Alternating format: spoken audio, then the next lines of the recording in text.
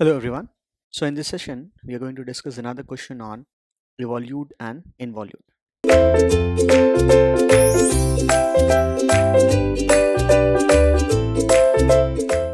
So let's say the question is to find the equation of the evolute for the parabola given as 4ay equal to x square. So in such questions, where we have got a function let's say in terms of f of xy or f of xab something like that where we have the curve given.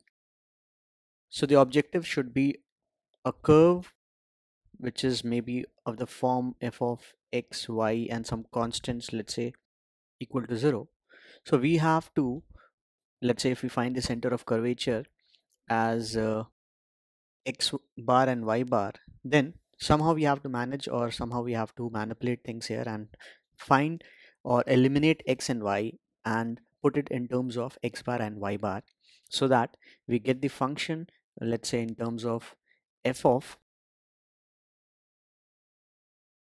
so eliminating x and y from the curve equation and putting it in terms of x bar and y bar that is the center of curvature that is how we can find the evolute of the curve. So in this case, the curve given is a parabola which is 4ay equal to x square. So let's start with this.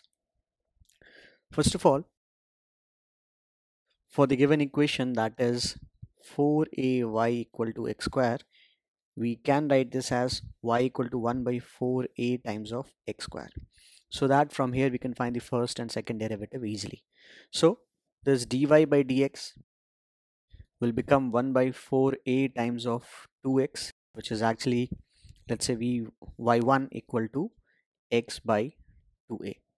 Similarly finding the second derivative this is going to be derivative of the first part so we can further differentiate this. So differentiation of x will be 1 so we'll be left with 1 by 2a that's it. So this second derivative or we can say y2 will be 1 by 2a now, for the center of curvature with x bar and y bar, x bar which is given as x minus y1 times of 1 plus y1 square divided by y2 will actually become x minus. So this y1 was x by 2a so x by 2a times of 1 plus again x by 2a whole square. So let's say x square by 4a square divided by y2 so y2 was 1 by 2a now you can see that we can get rid of this 1 by 2a from numerator and denominator so that we are left with x.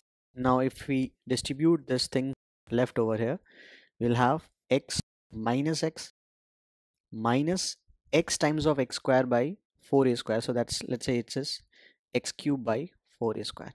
So this is x bar. And of course we can see this x and minus x gets cancelled. So that we are left with x bar equal to minus x cube by 4a square. If we rearrange we can say that uh, we have got minus 4a square x bar equal to x cube. Okay. So this is the first part because we have to eliminate x and y from the equation. Similarly for the second part that is y coordinate. Let's say let's do it here itself. Y bar which is going to be y plus 1 plus y1 square by y2 this is going to be like now this y which we have already rearranged here from the given parabola equation this is x square by 4a so let us put it like that so that we can eliminate y also at the same time. So x square by 4a y1 which was x by 2a. So for that this becomes 1 plus x square by 4a square and this is divided by 1 by 2a because y2 was 1 by 2a. Again making some rearrangements this is going to be x square by 4a. So this 1 by 2a goes in the from denominator to numerator. So this becomes 2a plus 2a times of x square by 4a square. So making some rearrangements, the first and the last term can be added together, They're like terms. So this y bar becomes 3x square by 4a and we have also got 2a here so from here we can say that y bar minus 2a is 3 by 4a times of x square or else let's say if we are looking for x square we can say y bar minus 2a times of 4a by 3 is actually x square. Okay so we have got these two expressions like both of this are in now in terms of x like x cube or x square. So if we have to eliminate let's say x then why not to square this one and why not to cube this one like both the sides? So in that case we are going to get minus 4a square x bar square so square of this thing will actually become x to the power of 6 and cube of both the sides of this part will actually give us 4a by 3 cube y bar minus 2a cube. So cube of this thing will become x to the power of 6 now we can see that we have got both the expressions as x to the power of 6 so we can compare the left sides of both these equations and therefore we'll be eliminating x also. Okay so from here we can say minus 4a square x bar whole square will be like from here this is going to be 16a to the power of 4 x bar square.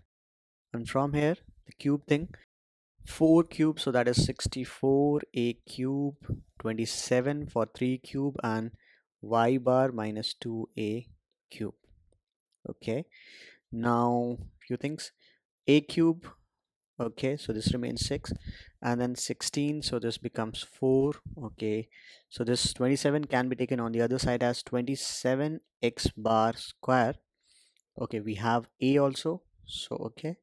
27 a x bar square equal to so on the right side we are left with only 4 so 4 times of y bar minus 2a cube that's it. So this is the equation of the evolute for the parabola given here. So like I said the objective was to eliminate x and y and getting things in terms of x bar and y bar which is the coordinate for the center of curvature. So that's what we did here and therefore this is the equation for the evolute of the parabola. I hope this is clear. Thank you